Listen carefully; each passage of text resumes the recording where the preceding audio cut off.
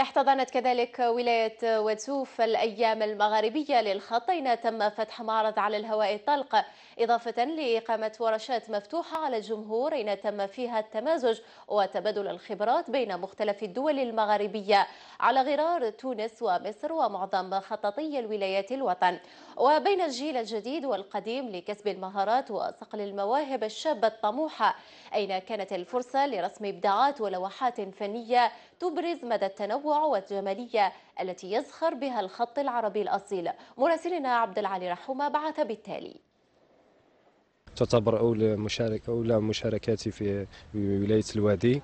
آه هذه الأيام تظاهرة ثقافية. سمحت لي بالاحتكاك بالعديد من الخطاطين الجزائريين كذلك بأساتذة. آه فنانين من من مصر ومن تونس.